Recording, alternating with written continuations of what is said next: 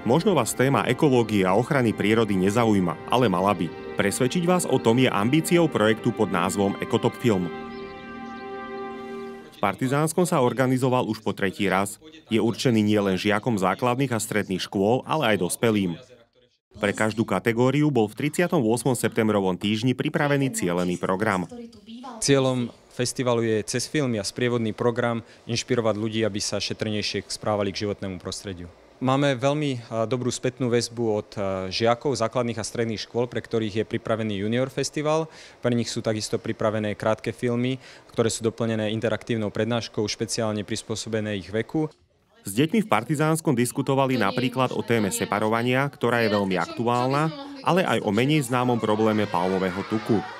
Hoci sa polemizuje o jeho prospešnosti pre zdravie, nájdeme ho vo väčšine potravín, ale škodí najmä prírode. Palmové plantáže totiž vo veľkom nahrádzajú prirodzené dažďové pralesy. Organizátori Ekotop filmu spolupracujú so samozprávami a aj vďaka ich pomoci môžu občanov vzdelávať. Ja som veľmi rád, že pred troma rokmi sa rozhodli ísť touto cestou práve preto, že ambíciou samozprávy mesta je vytvárať predpoklady pre edukačnú činnosť v oblasti tvorby a ochrany životného prostredia.